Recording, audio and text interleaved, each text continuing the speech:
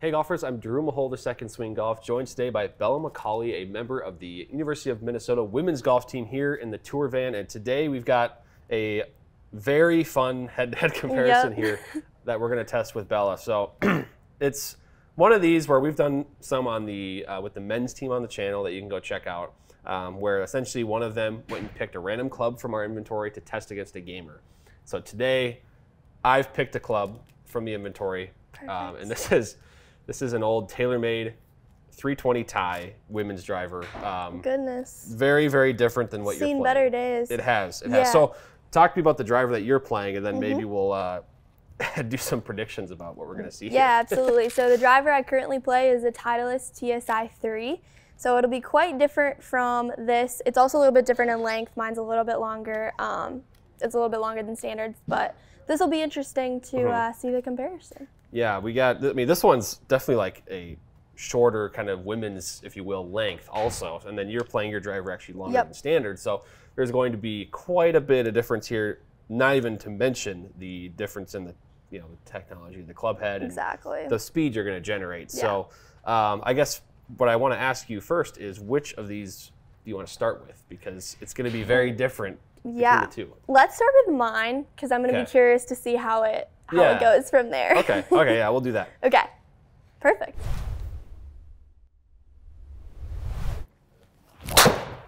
First drive of the day. Let's see. Yeah, the first driver swing didn't really even, probably not fair by me to not give you the warm up. That's okay. opportunity, But Not terrible. but one thing I know about Bella's game is she doesn't really miss fairways.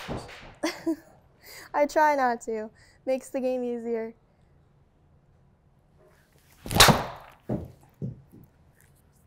Yep, that's about as far right as you're gonna hit it. That was good.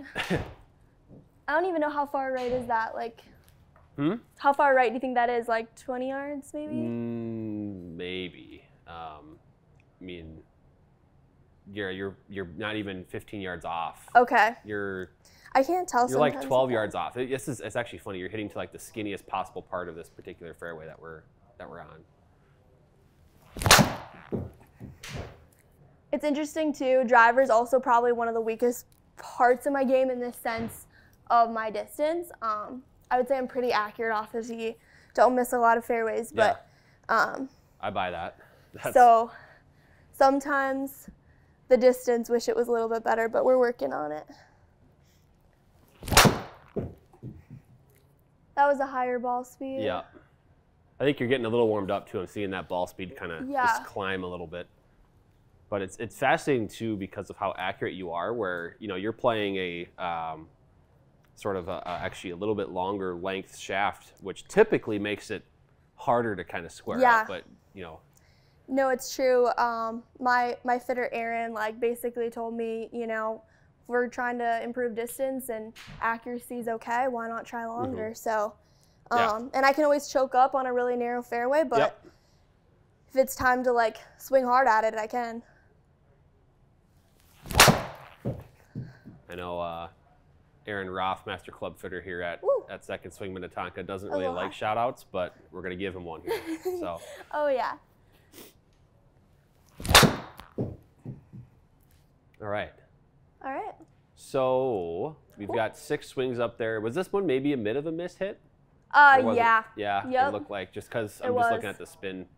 So I think what we'll do here's our five, the best five out of the the six that you hit, um, and then I get to go like this and and this. I should note this is very very zoomed in. At dispersion's kind of disgusting. With Yeah. it's so accurate. Yeah, because this is this is five yards.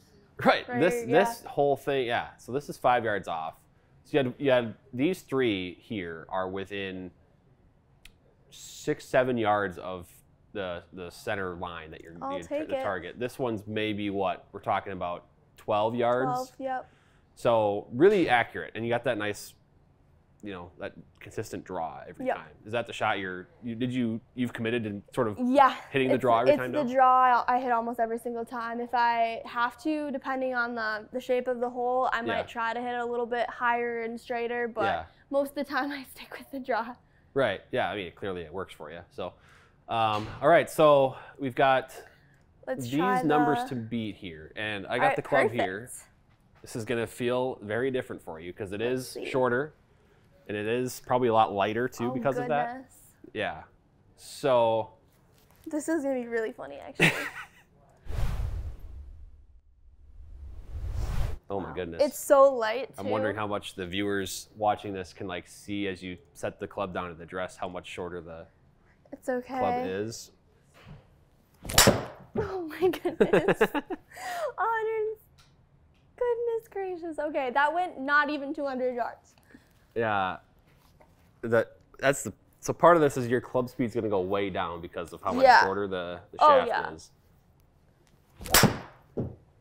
And That one felt pretty good. yeah, actually. yeah, it looked like it. Yeah, look at that thing. That was pretty good.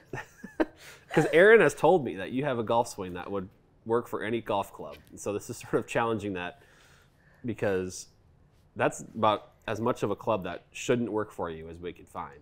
All right. It's even like a draw, like kind of setup. I feel Yeah, like, it's got a bunch of offset. which is not what I need.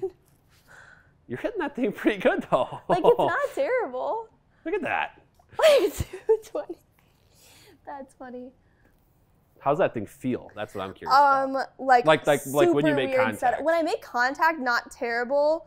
Um, just because I feel like it's like a normal Yeah. golf swing, but like the club itself, like feels super weird in my swing. Yeah.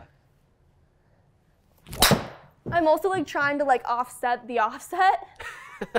So like, Yeah, you're, you're you're making adjustments to your swing as on the fly type of thing. yeah, because it's like it's really offset to the left, which I already kind of hit it to the Yeah. left. 'cause- So you're playing a regular flex shaft here, like a you know the Yes. standard. This is a Yep. Kiroka- Kurokage, Kagi, 50 gram. Um, so, Oh goodness. Well, and that's a you know a light flex 60 gram. it's as good as it's gonna get, but you can just tell it's like moving all over the place.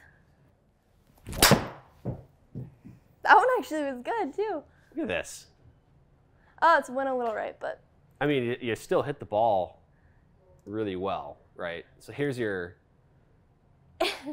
I mean, to actually, I'm, I'm being serious. Like there was the one that you started with. We'll probably remove that one just because it was a little bit. You were still getting used to the. yeah, in bit. terms of dispersion, it wasn't as bad as I thought it would be, but with distance, obviously, Yeah, it's yeah. just like not even Now, close. I, you know, I think as we would, if we were able to get that club head, say in a shaft that's probably closer to your length, you would certainly, you could probably hit it up as far because you hit the center of the club face so frequently. But I think you would see that dispersion and, and your, it would get a little bit wider Get a bit too. wider. Yep. Um, but just for the fun of it, we'll look at some of these numbers and uh, we can kind of see. it definitely goes to show how getting fit for the right club is. Yeah, And yeah. This is a bit and of a drastic, Is, this is a very example. extreme example. a very Yes. drastic example, but just shows how important it is. Yeah, because we got. I mean, you again. The shaft length is the difference here between, or for seven miles an hour club speed, which is helping you hit the ball Yep. farther and, and with more ball speed.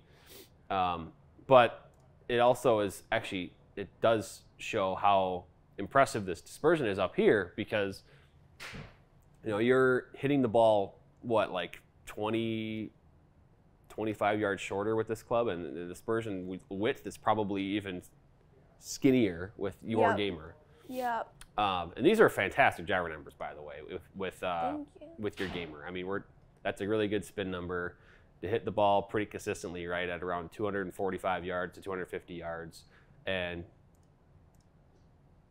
you got all of them. You know, we can nitpick this one in a very skinny part of this fairway, so to speak. is right off of it, so Yep. um, it is that that that that was fun. I mean, that's uh it's not a club that we're gonna probably recommend to a, a lot of people unless they're Yeah, you know, probably not.